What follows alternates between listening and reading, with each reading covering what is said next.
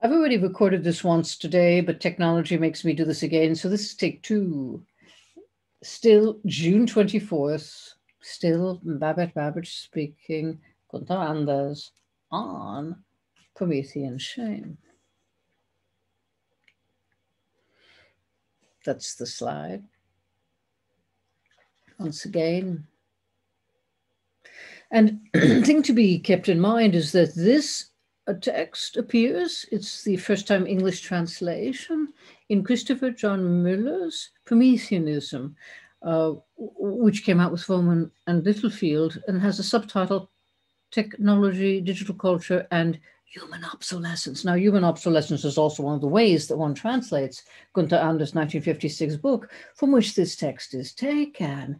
Now, what I'd like to do, I think it necessary to try to start is just to give a sense of rhythmics, because that's really part of this. If only I were one of you, I'd no longer be ashamed. I'd happily learn to enjoy my eternal return. I'd run on an appointed course attuned to machines. I'd do the same as yesterday. Tomorrow, the same again no one would know who I am. No one would find out either who, in dark beginnings, my parents were. No one would know how I lay small in mother's lap after swimming like a fish that as a bloody lump of clay my life on earth began. If only I'd have glowed in the oven and being made by things, so as to spring among your ranks with an armor plated disposition. There's a meter there, and I argue that's patterned on Gunther not quite successful Molussian catacombs with regard to a particular nation, Molussia, and what it did and what it did not do. And here we see a sense of that, but we don't get the rhythmic, we don't get the music. That's another topic, but it's something to keep in mind because it comes back again a little later. Now, Christopher John Muller, who does that translation for us, gives us also an introductory essay, and he has several chapters in the book itself. He tells us at the start that On Promethean Shame op- opens with four diary entries, and, and it's helpful because you really don't know where he's coming from, that establish the immediate context from which the text emerged the American exile that Gunther Anders began in 1936 and which lasted until 1949.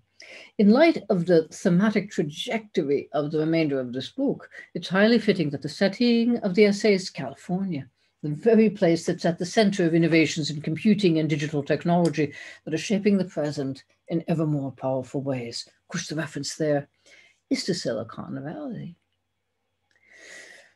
he also very kindly cites my own text, which does not happen all the time, so I am grateful for that, where he says, quoting my O Superman or Being Towards Transhumanism, that Anders' most dissonant insight, vying with anything Levinas argues about the face, with anything Heidegger argues about death and certainness, and everything that Hannah Arendt writes about natality, being born, is that the whole of our problem with modernity, which means starting with Descartes, uh, begins and ends with our awful shame at having been born. Now, the focus there is that Descartes, the father of modern philosophy, so modernity is to a certain extent indebted to Descartes.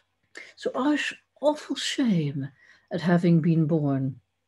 That's a reference on the one hand to Levinas, humanism of the other. We saw that also emphasized in David Gunkel's text, and face to face with animals, Levinas and the animal question, like Gunkel's the machine question, we get intriguingly with Peter Atterton and Tamra Wrights, just the same reflection on the face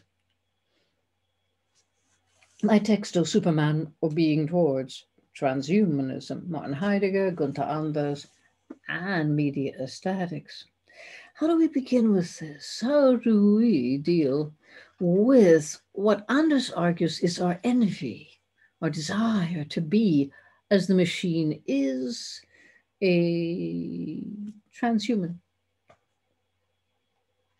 Now, we've already read, starting, of course, from Dissent, Volume 3, Number 1, Winter 1956, on the world as what we see here uh, Phantom and Matrix. Okay. Phantom and Matrix, as Phantom and as Matrix. That we remember had to do with the question of illusion, of ghosts, and of things coming to us. So Mount, mountain not going to Muhammad, we going to the mountain. And we talked about that in terms of film and television, and there are obvious parallels with YouTube. But in this text, which appears prior to the text we've already read. That's the same one, Die Welt als Phantom und Matrize, the world as phantom and matrix, is concerning or about Prometheische Scham, Promethean shame, that comes from the antiquatedness of humanity, sometimes translated the obsolescence. After that, the chapters Sein ohne Zeit, which is actually on Bertolt Brecht, and concerning the bomb and the roots of our Apocalypse Blindness. Very much an important book. Very much not available to us. it is the first volume on concerning or about the soul and the age of the second industrial revolution, which we see concerning the destruction of life in the age which is where we find ourselves, except we're probably well advanced beyond that. We got to be in the fourth industrial revolution, as they say, by now. But in 1980, it concerned the destruction of life in the age of the third industrial revolution. So the soul had shifted. Very interesting change. Now, different title, sort of cover, same thing, Beck Productions, both of them. This is a paperback edition. we begin with the mysterious Mr. T. Who's Mr. T? We don't know. I'm suggesting, I have no evidence for this except why not? Because it could have been the Times work could have been Teddy. There's Teddy there, Theodore Adorno, and that's Max Horkheimer there, shaking hands. Terribly subversive thing to do today, age of social distancing. But we see here Adorno's house in LA on Kenter Avenue.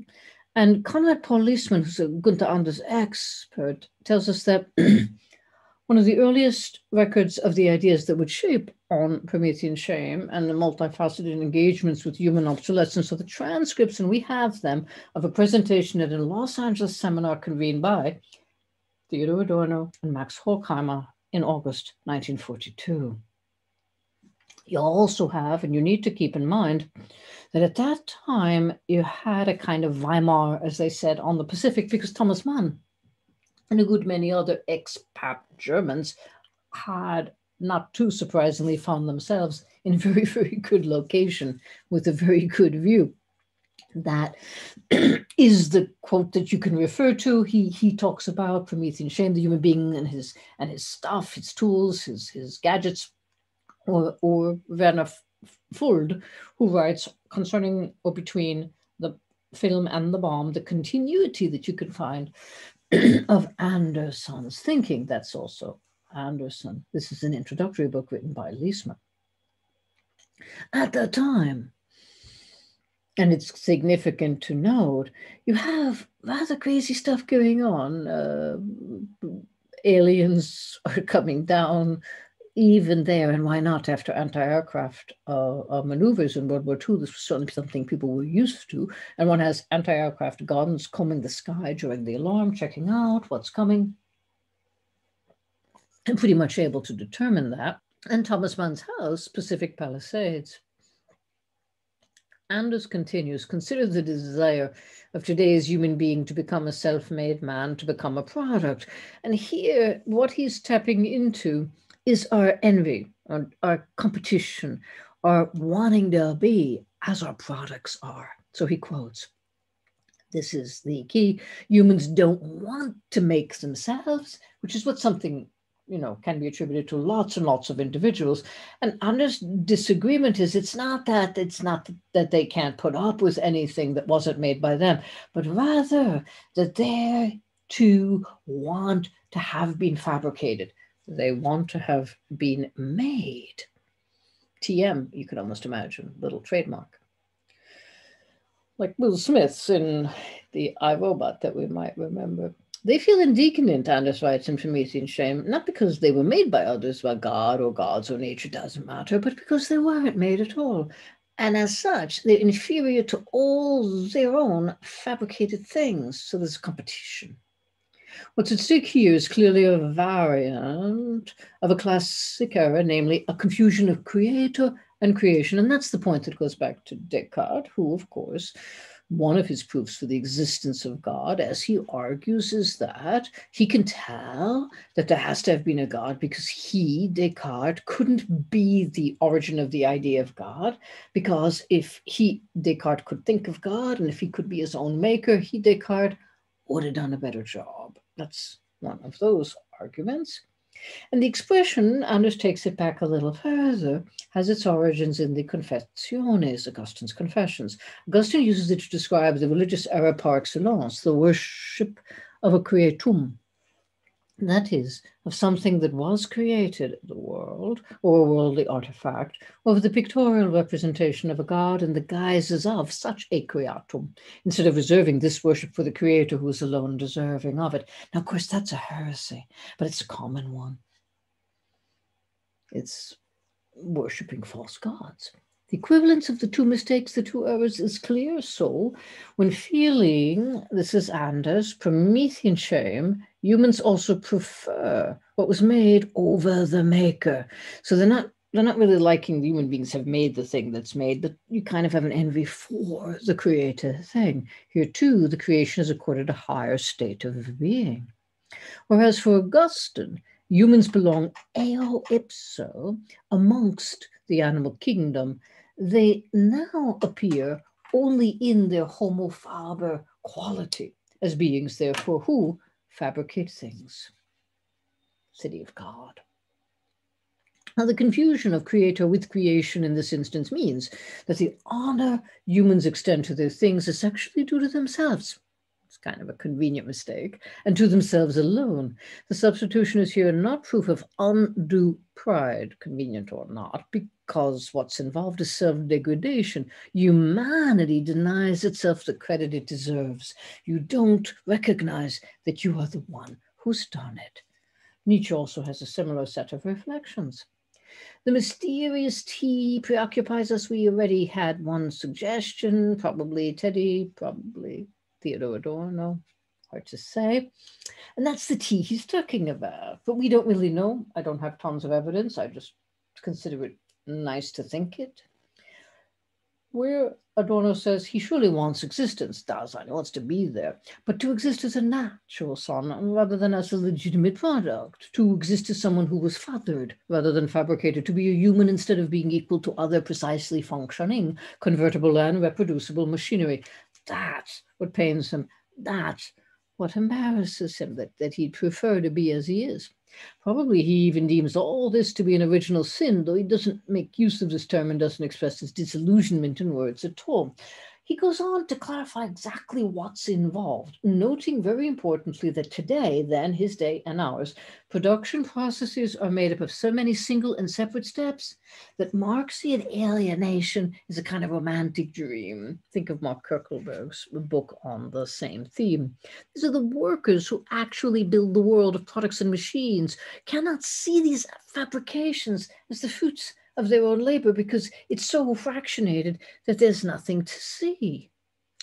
There's no longer, page 33, any occasion for pride, whether for a single end product or the world of machines and products as a whole. Why? Because no end product shows any sign that it was invested with the specific qualities and achievements of individual workers. It's too atomized. One can only be proud of achievements that bear traces of individuality, that make processes of identification possible. For the workers, the world of machines is no more an object of pride than it is their property to own. They can't take pride in it, and it's not theirs. So not even their work seems to be theirs because they don't know what part of it represents whatever work they may have put into it. This is alienated alienation. So you could see these maybe they're droids, we're not sure. Google refers to this, Bateman refers to this, we don't know. Somebody, some kind of robot. Instead, rather, products are simply there. We encounter them, this is Anders, 33 to 34, primarily as necessary or desirable or superfluous uh, luxury goods, affordable, unaffordable, which become mine only after I have bought them. As such, they're likely to be proof of one's own insufficiency than evidence of one's own power. And think of what Chris Bateman was saying, and we were discussing that yesterday. Uh, these days, you can't even buy them and have them. You can buy a kind of license to them and have a little bit until you're told that you will need to renew it or update that or pay a little more money to continue playing. So in a highly industrialized country, the excess of displayed yet unobtainable products is simply overwhelming. You're constantly showed these possible objects of desire, and the shopping mall is thus the permanent exhibition of what one does not have. Now, here we start with one. The whole text, true to the title, is about shame, and that's what he talks about. So he begins with by saying, look, the best known variety is a shame, for example, the shame associated with the genital area, become acute in the interaction of humans and become visible as barriers to communication in encounters between human beings. Promethean shame however, is different, right? It's a form of shame that's felt in response to a thing that should be achieved because no human partner is present to make us feel shame. There is likewise, for the most part, no human partner to witness our shame or divine observer or angel casting us out of paradise. Here's Adam and Eve after the fall, same thing. We proceed. Shame, first observation, crucial, but the second even more. Shame doesn't appear. When you first do something that you're going to call shame, it's something somewhat unconscious. You're unaware of it. It doesn't appear when it sets in. When shame appears, when it's first evident, it does not step onto the stage of visibility, but it takes a step back. There's a kind of ah, horror. Humans who are ashamed try to conceal their flaw and themselves. So putting hiding, putting one's hands over one's face is a traditional sign of being ashamed. They are, however, no matter how much you try to put your hand in your face, very, very important. You know, whatever you do, wherever you go, unable to fully realize the desire to sink into the ground and disappear completely. You can't just disappear. From this wavering shame, two peculiar, if you like, dialectical consequences ensue, which explain the invisibility of shame.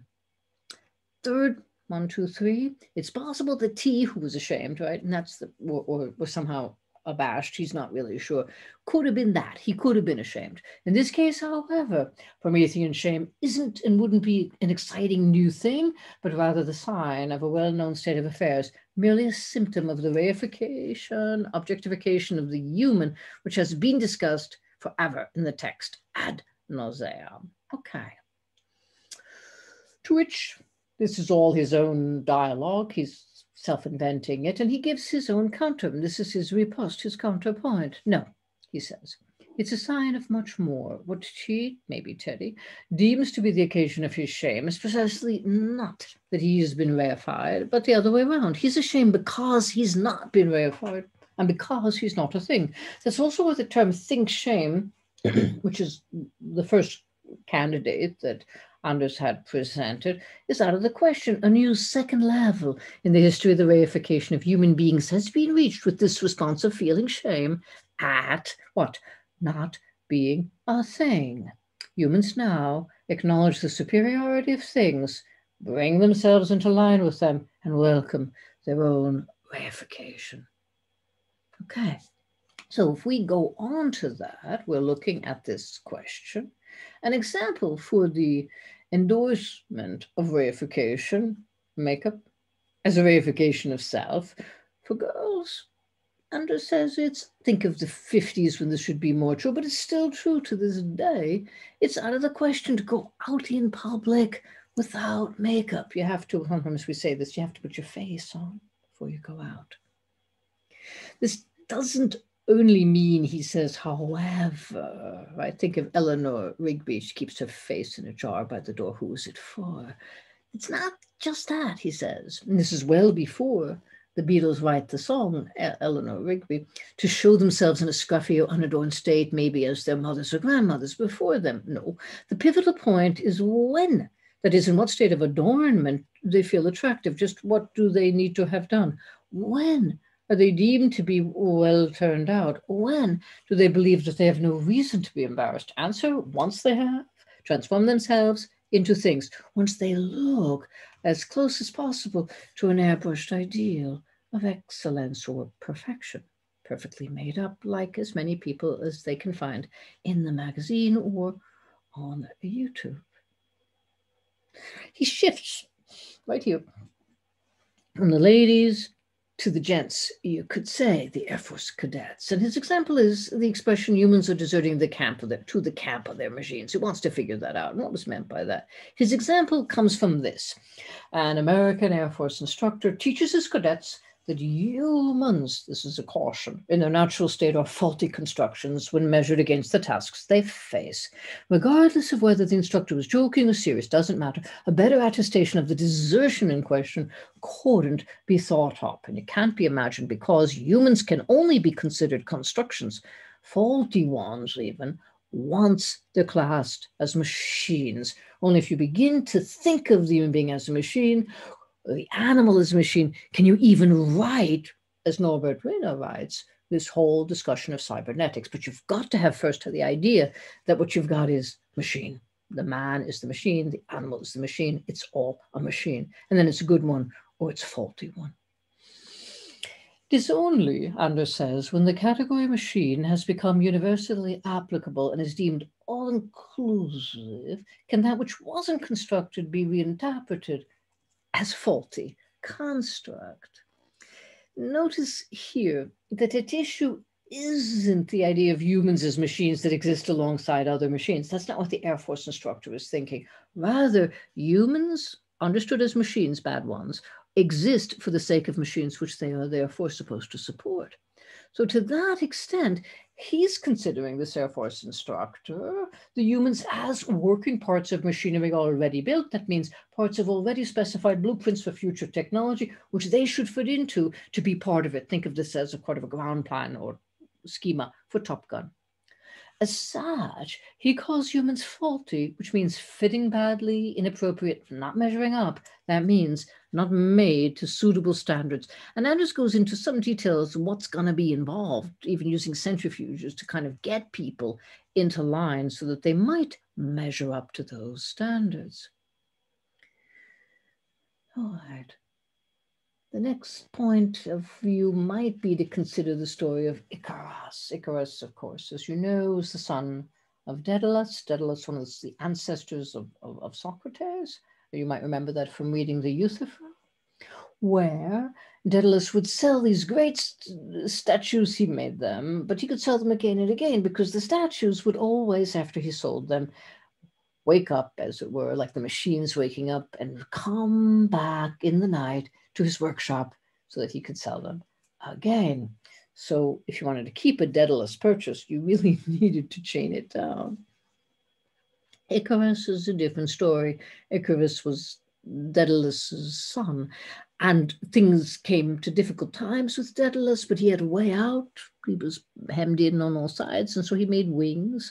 We know the story of wings from one of the first science fiction stories we have called A True Story, Alethe Diegemata by Lucian, and where the hero constructs these great wings to climb up to the heavens to be with the gods or to have converse with them.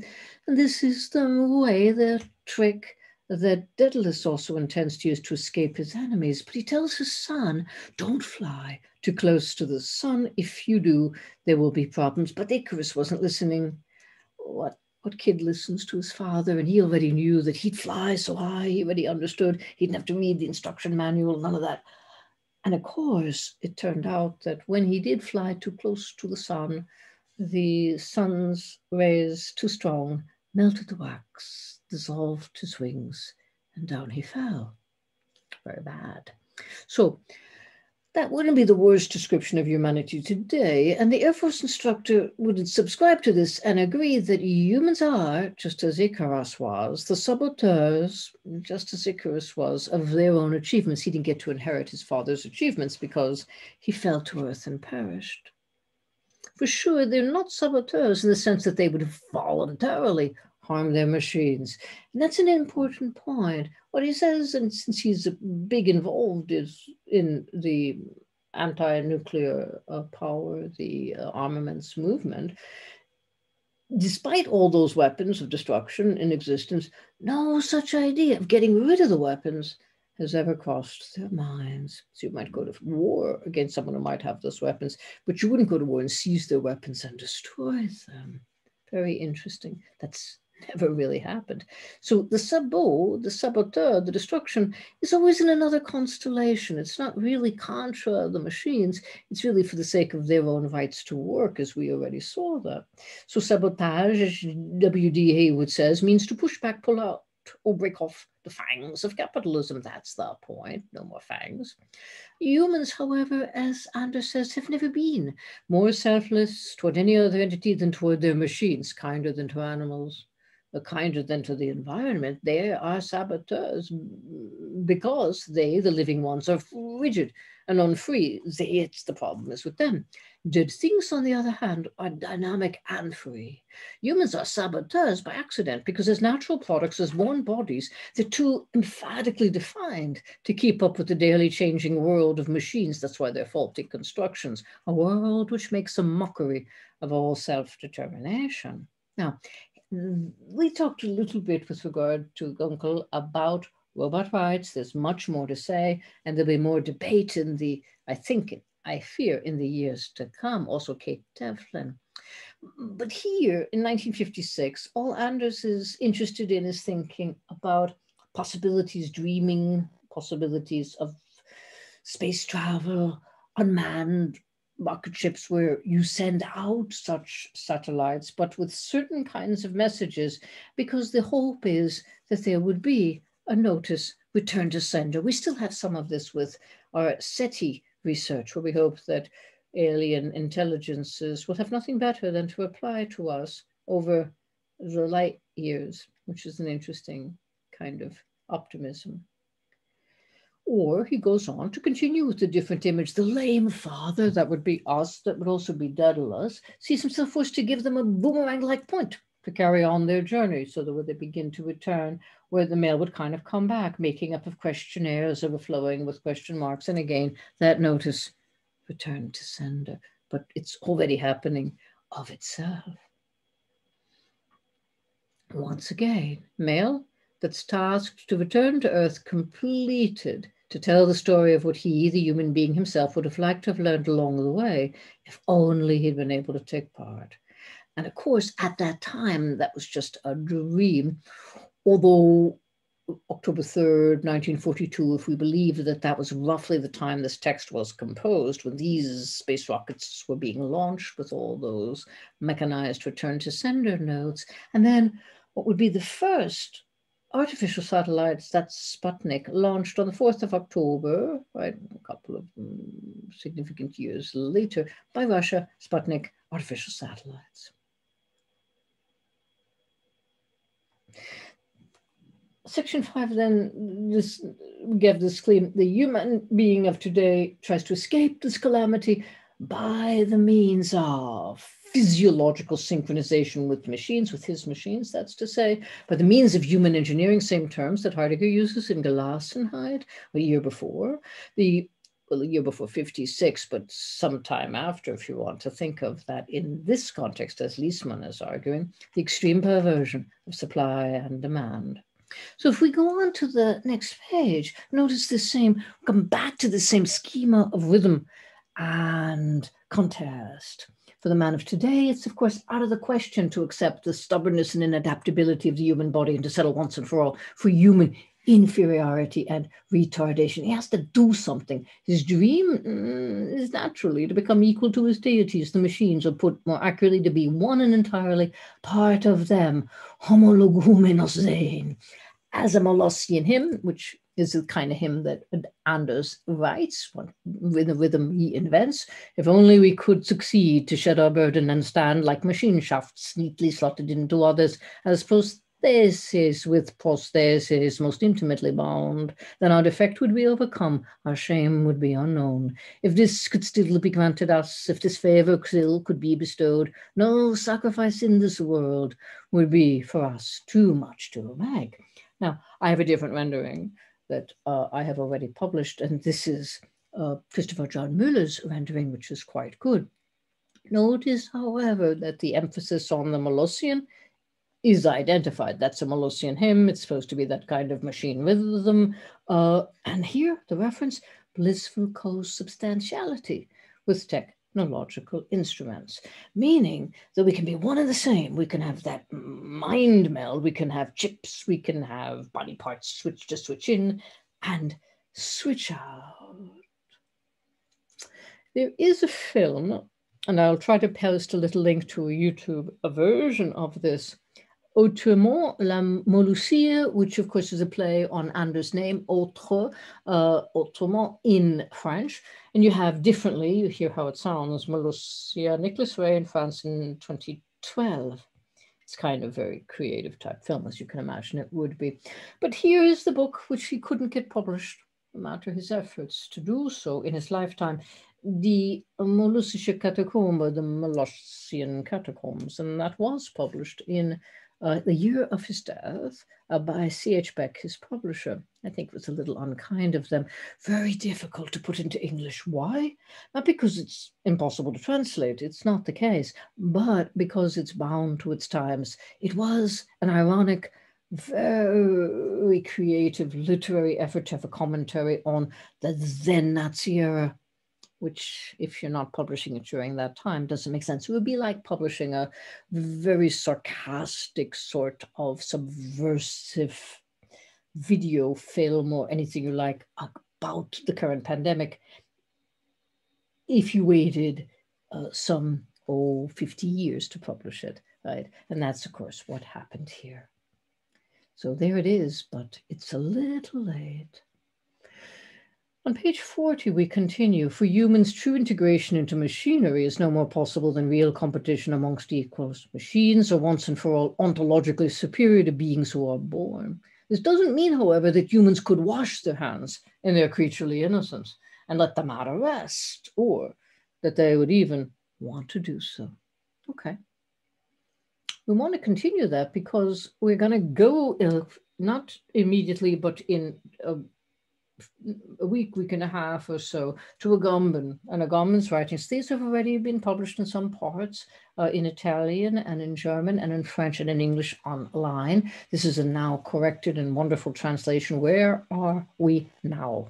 The epidemic as politics. And that becomes related to the same functionality because 43 we see what was applied to humans yesterday is now reserved for the machine its potentials are nurtured. It is now a duty to give it to our free hand. So think of robot rights. This is the key. The stifling of its potential has become an immoral deed. How dare you practice Luddism and so on. Machines are the gifted talents of today. That's where the promise will be. Some of us even asked some questions on some of the discussion board. Do, do we, should we, maybe we should get AI to solve some of our problems for us. And wouldn't that then be a solution? Good question. Here, however, his question is that no matter what it is, the machine is always going to give, be given a free rein will always be given its head.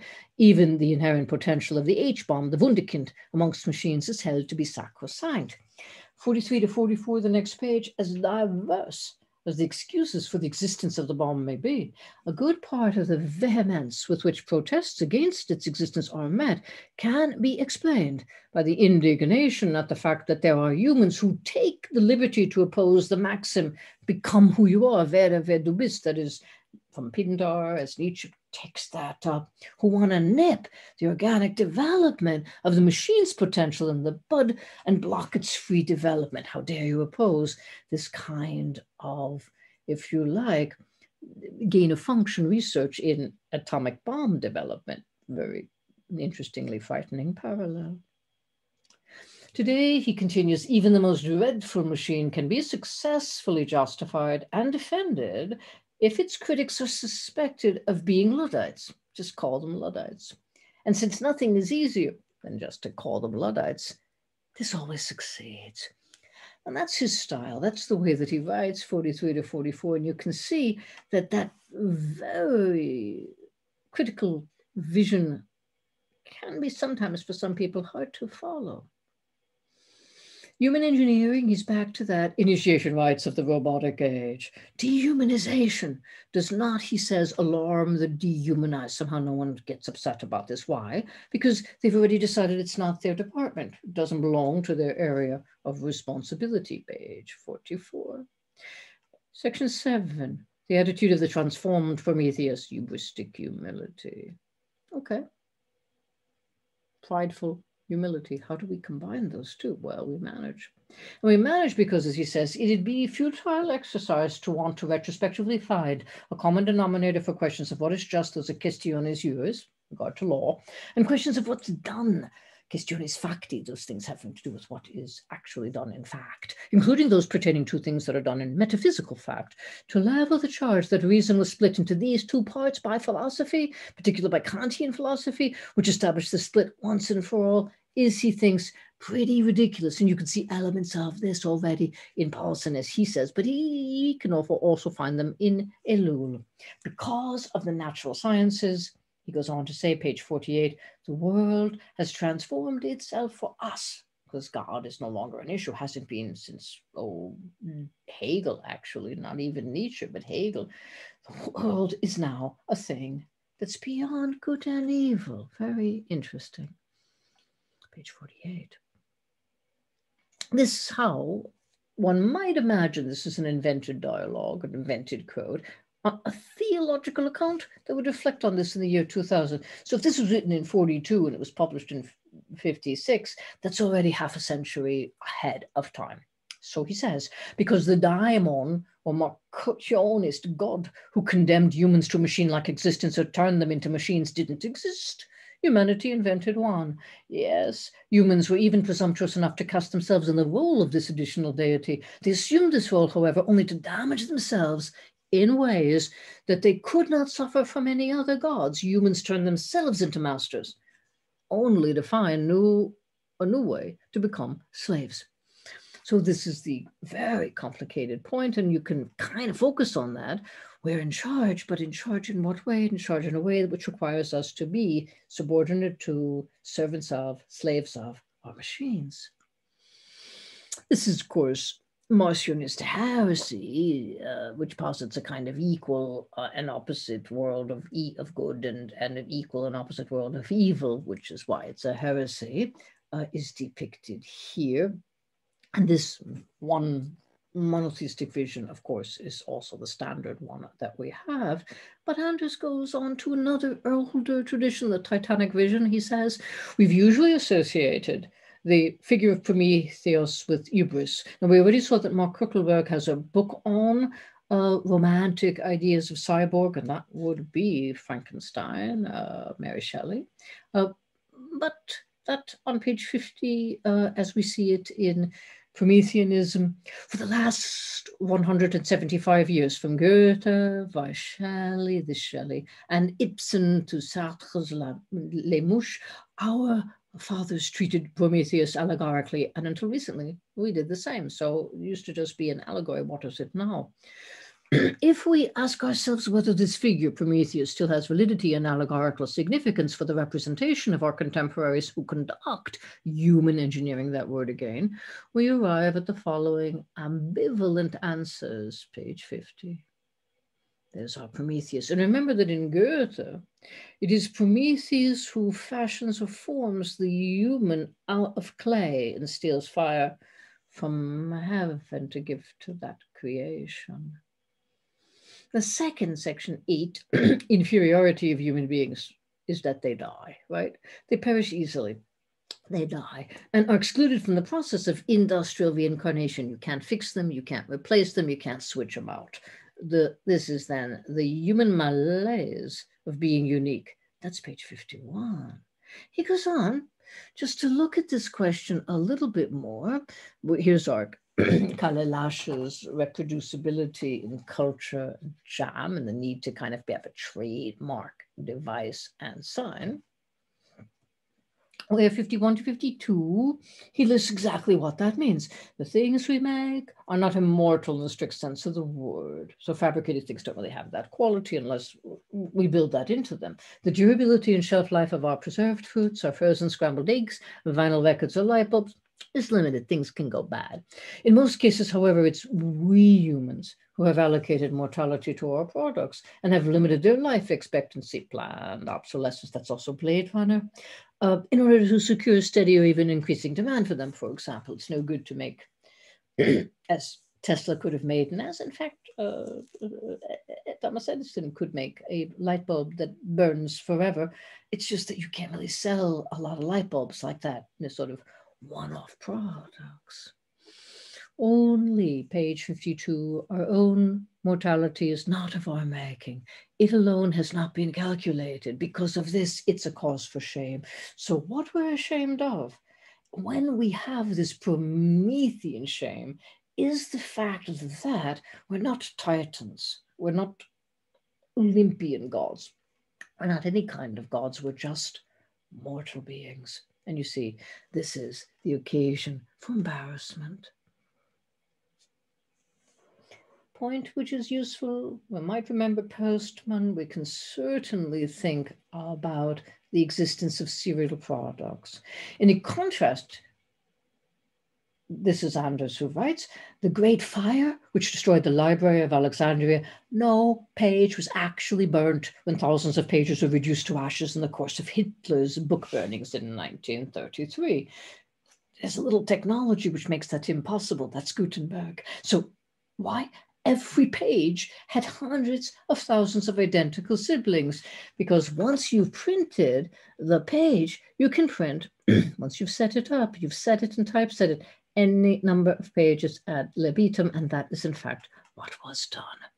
So he continues, as ignominious as the intentions of the arsonist were, and as ominous the gesture of his hand, which betrayed the fact that it would soon commit more than paper to the flames, at this stage his acts of annihilation were still totally farcical. In the midst of the jeering crowd, you can see them here dancing around the piles of books. They've also danced unseen, these would be the ghosts, a featherlight group of hecklers teasing, which the flames couldn't touch, even while being scattered to the winds. These are the book icons, the spirits of the books. This book prototypes would proclaim, go ahead, burn our copies, burn them. Us, you cannot burn. And today, these supposedly incinerated books live again and do so in thousands upon thousands of copies. You have lots and lots of copies of all the books the Nazis burned. Whereas, by contrast, because they were one offs, the books that were burnt in Alexandria are lost to history. This was just a public relations gesture, wasn't real. That factor of what's real, virtual, reproduced Gutenberg manufacturing style continues. And we might remember just to, to kind of connect this uh, with some of our previous readings, Ryan Szpiech, even if we may not have been to this page, University of Coimbra General Library for a glitch detail of the Pugio Fidei manuscript, which you kind of can't read here because it kind of doesn't show up. And you might have seen an image like this before on a, web page, perhaps. It's what it's supposed to look like, that same detail of the 13th century Pugio Fidei manuscript by Raimondo Marti. David Bell, talking about the bookless future, talks about the way we like to read. We start, we quoted already Stefan Hagel, who says, very interestingly, that you know, even when it comes to ancient Greek manuscripts, even if the computer reproductions are bad ones, it's still great to be able to use them. It kind of gives wings to the feeling of your research powers. So what powers are those? It's a strategic power, targeted power. You can feel empowering in that sense because instead of surrendering to the organizing logic of the book, you're free. You can approach it with your own questions and glean just what you want. Okay, that's great. The trouble is, the continuation is the same advantage. You're the master, not some dead author. That's the great bit. But that's also the bad bit. Why? Information is not knowledge, searching is not reading, and surrendering to the organizing logic of a book is, after all, the way one learns. Wow, that's a very interesting point. One has to learn, open one's mind, go a little further than one already happens to be or to find oneself. So, if we consider this question of searchability, now this is Ryan Szpiech, to read strategically via text searching, one doesn't need to wade through any unsought surrounding terrain. You don't have to look at anything but what you want to look at. And in fact, this is also one of the problems. You may have noticed this when you get to some of the library ebooks that we download. You're only limited to a certain range of text pages, and you can't look after or beyond them. So, such control represents a significant inversion of power in our experience. We're not really empowered. Very interesting. A shift that librarians have come to refer to as a loss in serendipity. You, you can't happen upon things you didn't expect. The reductive reading of a digital world, one in which text has become mechanically searchable, is a reading mediated principally through data. And of course, that's not really reading and certainly isn't really amenable to hermeneutics. No matter how many times, and Yuk Hui has tried to write about this, you use the word hermeneutics. So this new significance, this is Szpiech again, tracking the code. We have that text, we look, talked about it already.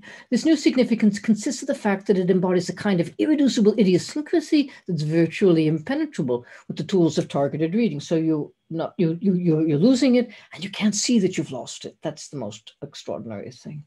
What can't you see? you can't see the manuscript. You don't have access to the actual manuscript, no matter how much digital access you have. Why?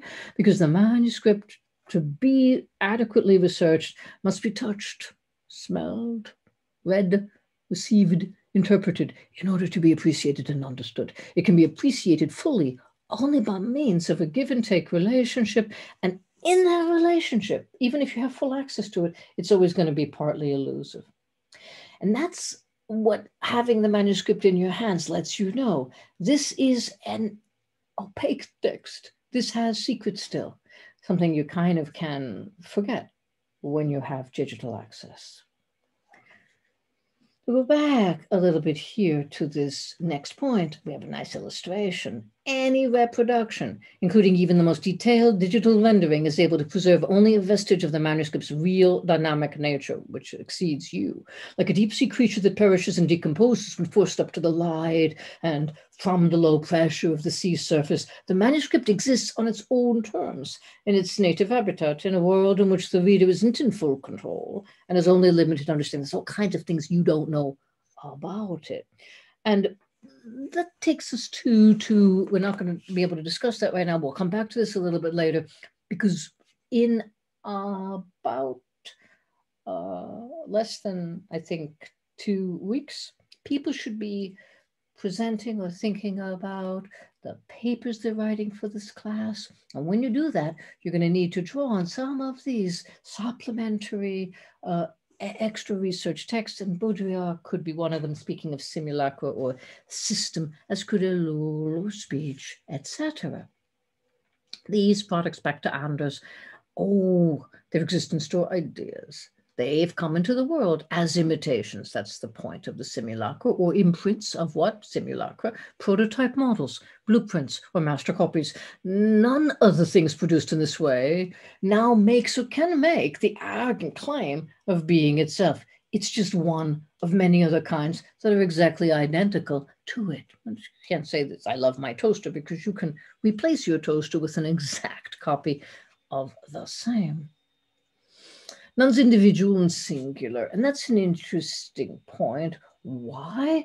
Because everything they are can also be gotten in their replacement items. So if the items, he's not a fool, produced to an unchanged model are kept in stock, if they don't go extinct, if they don't go, uh, if they're not made redundant out of production, uh, they can be replaced. And therefore, the only limit is going to be how much money you have, whether or not the thing you possess can be mortal or immortal. For the man who's flush with cash, each thing can reincarnate itself in a new one. And it's very interesting that money is still part of what will be the immortality business, which we're expecting to have in the new brave world. So, these are some old things we used to have, totally replaceable things, and this is kind of a graveyard of such computer monitors and uh, little computers. Some of these are complete, complete computers, not just monitors, which is kind of scary. This prospect of reincarnation only ends, right, when the idea of the thing dies, when its make is dropped in favor of another one. The thousand copies produced from the blueprint of that particular make then, of course, disappear. And they're going to disappear gradually. They go to maybe computer museums, of which there are not a lot. Very interesting. You have a lot of computer garbage, not a lot of computer museums. Page 53. Obsolescence is that notion. And here we have it goes, iPhone, the very first one, that only goes up to six plus. So you really got the better ones, the seven and the eight. And then the kind of very disappointing 12, not even space for that on a screen. Planned obsolescence, like the communicator like from Star Trek uh, vision of the Nokia cell phone. Some of them are coming back, or cassette. Maybe you can't tell that's cassette. That's that's supposed to be. They're all meant to be looking unhappy or beeper. Uh, those things are eclipsed. Planned obsolescence is a standard notion. That's what Anders is talking about, and the idea is that you design it that way, like like like a uh, inkjet printer, right, where you spend a certain amount on ink and then, of course, probably get too much ink. and you want to be careful about that because at a certain point, the printer will cease cease to function and you'll need to buy another printer. And probably that printer will be out and they sneakily introduce whole new types of ink, which means your ink will be useless and your printer along with it. The example that he goes on to give is a little romantic and a little sad magic because in the 40s and the 50s, you could visit friends in hospital who didn't have long to live. This is a stage thing because it looks as if it's a cheerful kind of thing. but that's not the conversation that Anders has with his friends when he asks, and he knows it's silly. How are you? He knows it's not good. The guy's dying, and the guy knows he's dying. Well, how are you? and to which the person he speaks to adds a rhetorical question to counter mine. Well, can they preserve us? Kind of sarcastic fellow. The word they referred to the doctor's preserves of bottled fruits. He wanted to say, can they perhaps turn us into preserves like, like marmalade? I said, no. And go on. And he continued, spare men, they haven't got either. So his understanding was that it would be nice if he could be changed out, as if he were a car in a shop, for a new make and model of the same spare men. Okay. Spare men? I asked, not understanding. He elaborated, well, don't they have spare things for everything? So we never list here what's replacement, how long it lasts from shoulders and of course other joints, hips and so on, knees and ankles. And those are the kind of parts they're able to replace or change out, and those themselves will last a certain period of time. And ideally, eventually, remember the discussion that Bostrom and Yudkowsky had, you can upload your consciousness, your mind, and then perhaps you don't need your body because perhaps if you put your consciousness in the cloud, there's no need for the uh, physical physical version that would be that'd be you but that's not how Anders continues. He continues by saying, okay, let's be real. You're not irreplaceable, not in from one point of view. Spare men are always available. Why? Because everyone is merely a part and an actor in a labor process. So from a certain point of view. That conclusion is only true, however, from the same institutional perspective. It isn't shared by individuals themselves. Right? The fact that you're replaceable at your job is not how you look at yourself. Our already mentioned patient, for example, testifies to this one on page 55. He didn't complain about his replaceability. He grieved over his irreplaceability. Right? He would have liked to have been replaceable. That's the point. He would have liked to have been able to be changed out for a new self so that he would be preserved. Very interesting set of reflections, 55. Now, cloning is what he's talking about then, and it's already available. As the section nine continues, human attempt to escape this second calamity through iconomania, right? Try to get onto that. Part of it happens already on film. One is immortal on film. So, very important point. In a certain sense, he says, page 57, the star is even immortal, was still alive. That would be the immortal Garbo, for example. And is not known by the way of all flesh. She's younger than she is because the majority of her pictures feature the eternalized version of her actual self. That is, the only version that counts commercially. The one that portrays the divine and wrinkle free appearance from her youth. We cannot imagine that these are pictures of the same person. Page 57.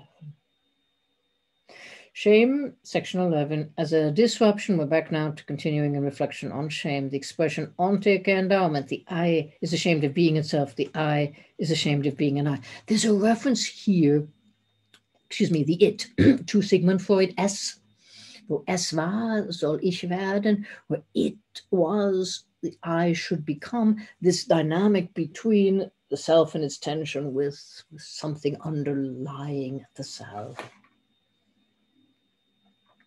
which he proceeds to explore. Now, Anders had two parents, both of whom were psychologists. Uh, uh, William Stern, the inventor of the IQ test, uh, and Clara Stern, who wrote about child psychology. So Anders knows something about psychology, and he really knows something about shame. So well, let's pay attention here. What then he asks is shame. It's a reflexive act. Okay, that's the definition. One is ashamed of oneself. That is it involves a reference to self. Shame is something you feel uh, yourself about yourself. Shame, however, this is an interesting constellation. B is a reference to self that fails. This is reflexive act, does not fail only occasionally. You can do remembering yourself, you can forget yourself, all those things, but rather it fails categorically and fundamentally. So it's categorical because those who are ashamed encounter themselves at once as identical and as not self identical. It's me. It is me after all. So here's this question of shame. And Nietzsche writes something very similar where he talks about a context between memory and at the same time pride. And pride, he thinks, is really what comes in here because memory says, You did that thing. Pride says, You could, I mean, No, I, I, I would never have done such a thing. And then Nietzsche says, You they fight it out for a little bit, and after a while, memory loses, right? So it's me, it isn't me after all. Shame then, E 63, as a consequence of this, the act never stops, it never comes to an end because the one who's ashamed cannot get over the contradictory encounter. Shame is never over and done with either. So you've really got to forget, but that forgetting is a suppression, and that suppression isn't going to work. It's going to come back, the return of the repressed. Okay, so in this and the traits F and G, shame resembles astonishment, shock, surprise. F continues so much so that it actually forfeits its quality of being a reflexive act and degenerates into state. That's very bad. That could be a depression, terrible thing. And he says in G, does not, however, become a state of equilibrium, a stationary mood, using the Heideggerian language, but an oscillating state of irritation and disorientation. It turns into a condition that seems to perpetually begin afresh, even if one already deems oneself to be in the thick of it, in brief. Shame is an interference in processes of self identification. It's a condition of being distraught and confused. For Verstörtheit. It's a kind of very perpetuating problem. Okay. Now, that takes us to towards the end of the uh, sections that we are reading to this double intentionality of shame. So this is where it becomes a little theological. You can see this is on the soul uh, in the second age uh, uh of the Industrial Revolution, on the soul, spiritual aspect. In contrast to most of the harmless acts that occasionally, usually occasionally, are the objects of psychological and phenomenological investigation, shame essentially entails double intentionality. It's not solely directed towards its normal intentional object, the perceived flaw, but also simultaneously toward, right? It's turned toward an authority before which the one who's ashamed feels shame. That means it entails a coram, it entails a before which And that's, of course, the problem. Coram, hmm, that's the Latin, is defined. Christopher John Miller tells us, gives us the definition. He translates the definition that Anders gives us to be in the presence of, to be before, for example, the eyes of the public, the law, or an authority. So this is Christopher John Miller's translation. Loss, articulation, explanation for us. So we're grateful to that. But of course, that's what Anders proceeds himself to try to gloss himself. Coram Deo refers to the being in the presence of or before one's God. That includes three the articulation, because what makes sense of this notion of apotropaic or negative intentionality, the authority is unsolicited. You didn't ask for it, often even one unwanted. It's not actually intended, it's evaded. The intentional turn towards this authority is, in fact, a turn away from it. The intentional reference is a rejection. It's all negative, it's negatively intentional. So you see the hand which sort of blocks the before which. Anders first dissertation was supervised by, uh, as, as, as, as we see here, a text written with and with regard to uh, categorical states with Edmund Husserl. He studies with Martin Heidegger, and he's not able to actually write a habilitation, but he has something that explicates, this is his gloss on Coram, what it is before. It's not specific to shame, he reminds us, even though it's particularly evident with regard to shame. Rather, it's a trait that belongs to all social acts. Example, to boast in front of someone else. You really can't post all by yourself. You've got to put things on Facebook if you want to be uh, get attention for those things. So, coram deo before God, coram deo, coram mundo, before the world. Coram, he says, is probably an element that can be discovered maybe in every act, however hermit-like it may be. Even if one's oblivious of this, even if the act takes place in private, it's doubtful that there's an act that doesn't make reference to a particular social word. You see the relevance of Heidegger, the word is mitwelt, that he uses, on which it counts and before which it takes place or wants to pass unobserved. Either it wants attention or it doesn't want attention, wants to pass without remark. It's the same. So the conception of consciousness, he ends our reflection, or we're going to be ending with this, in the classical phenomenology of Husserl, had to closely border on solipsism because this phenomenology, without being clear about its own principle of selection, almost exclusively restricted itself to the analysis of acts that didn't openly imply this coram. And to that extent, he echoes with Heidegger the need for what Heidegger also adds in the very beginning pages of A Being and Time, this reference to the with world. And that's, of course, what we read. Notice, and we'll stop at this point, notice that uh, you should take maybe tomorrow or the day just to write a very, very short uh, analysis of this lecture and the reading on uh, Promethean shame. Uh, next week, we'll be talking about the different matter of the man in the white suit. I have gotten, I have, I've, I've gotten uh, the library to purchase a streaming version of the man in the white suit. Great fun to watch that, but also the discussion of that for next week. And because Zoom cooperated in making this a little bit later than it should be, you can certainly take the weekend to get that to me. To try to get that to me, however, by Sunday or Monday, uh, as uh, as you can. I'll see you next week.